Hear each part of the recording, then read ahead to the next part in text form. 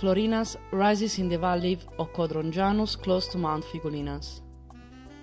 Positioned since its origins in a happy transit position for trading between the south and north of the island, the town is a center that is evidence of the flourishing traffic, developed also to the commitment of the Benedictine monks who successfully contributed to the reclamation of the entire area in the Middle Ages. Florinas is home to traditional religious feasts and numerous events during the summer months. The folk group Figulinas plays an important role in reviving the tradition, with the purpose of enhancing and protecting the popular culture of Sardinia, particularly of the Logudoro and Florinas. In the simple facade in calcareous tufa of some of the buildings, there are interesting features of an architectonic style which influenced the entire 19th century.